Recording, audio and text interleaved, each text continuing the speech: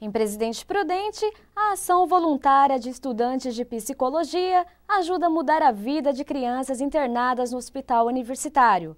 A brinquedoteca, além de divertir, diminui a angústia dos pequenos pacientes. O clima por aqui é diferente. A preocupação e o sofrimento são quase esquecidos. As crianças, mesmo internadas, contagiam o ambiente com a alegria de brincar. O projeto Brinquedoteca, desenvolvido pelas alunas de psicologia, proporciona diversão aos pequenos que por um tempo aqui se hospedam. O objetivo é eles brincarem com as crianças para que elas uh, não sofram tanto o, as ocorrências que acontecem dentro da internação. O trabalho desenvolvido pelas monitoras não é nada fácil. Para aguentar o pique dessa galerinha, é preciso muita disposição.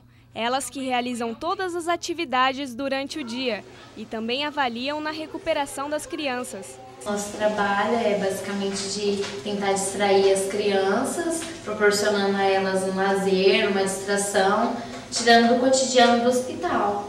Quando eu quero brincar com eles, com outros colegas, aí eles não gostam né, da brincadeira, aí eu peço para elas brincar comigo e elas brincam. Na brinquedoteca não existe lugar para a solidão dos quartos. As crianças gostam tanto deste lugar que não querem mais ir embora quando recebem alta. A brinquedoteca ela é um método extremamente eficaz, comprovadamente, eh, para o bem-estar da criança como um todo. Ela fantasia, ela viaja para outros lugares, ela consegue esquecer da doença dela e faz com que ela melhore mais rápido. Pessoas que dedicam tempo para tornar a vida destas crianças mais feliz.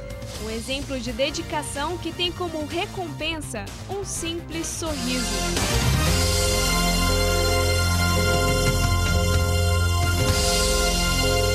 Quem tiver interesse em doar brinquedos, basta entregar nos pontos espalhados no Campus 2 da UNOeste ou no próprio HU.